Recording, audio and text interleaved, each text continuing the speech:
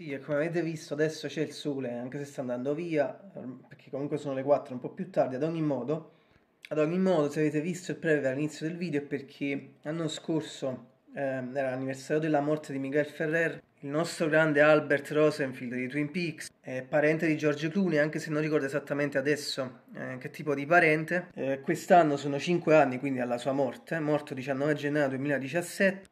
Eh sì, dedica Heartbreaking da Twin Peaks Return, ovviamente di Angelo Badalamenti. Se qualcuno è interessato, metto sempre il link completo in descrizione del video. E qualche anno fa ho interpretato anche la versione completa. Ci sono tre varianti che si sentono durante la scena. Fratelli Mitchum e Cooper al ristorante. Sono tre varianti di Heartbreaking, così si chiama. Praticamente solo io ho interpretato tutte le varianti um, fino adesso.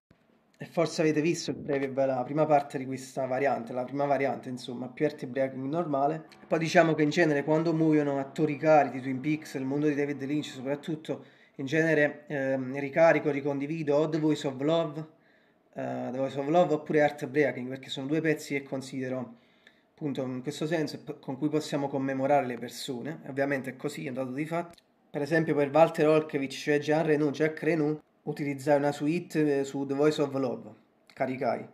Walter Olkevich che morì il 6 aprile dell'anno scorso, ovviamente persone tutte care al maestro, credo, quando muoiono persone dal suo mondo è sempre così. Per cui questi sono i pensieri del giorno, al momento non mi viene altro, se mi venisse in mente come sempre lo scrivo in descrizione, uh, ci prepariamo una sorpresa per domani, poi vedrete la prima parte di questa sorpresa, appunto divisa in due parti, poi spiegherò meglio. Have a great day! Adesso mi sono ricordato, era il cugino di George Clooney. C'è anche da dire che morì molto giovane, a 61 anni, per un cancro alla gola.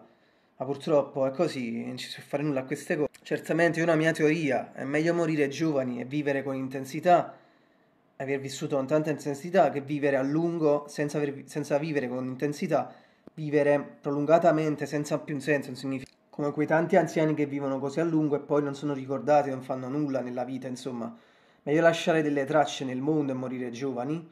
Quindi a me mi spaventa, come penso sempre io, morire giovane, anche se morissi adesso non sarebbe un problema perché già so di aver lasciato qualche cosa dei vostri, certo, non, non sia che cosa, ma comunque qualcosa, che appunto morire più vecchi senza aver realizzato nulla di veramente, nulla di veramente significativo. E penso qualcun altro sarà d'accordo con questa visione. E infatti io utilizzo proprio una frase ben precisa Meglio una vita breve ma intensa che lunga e senza senso. Proprio la frase che utilizzo sempre quando parlo di questo concetto, di questa questione. Spero possiate farne tesoro e che possa piacere anche a voi. Quindi ripeto, è meglio vivere una vita breve ma intensa che lunga e senza senso.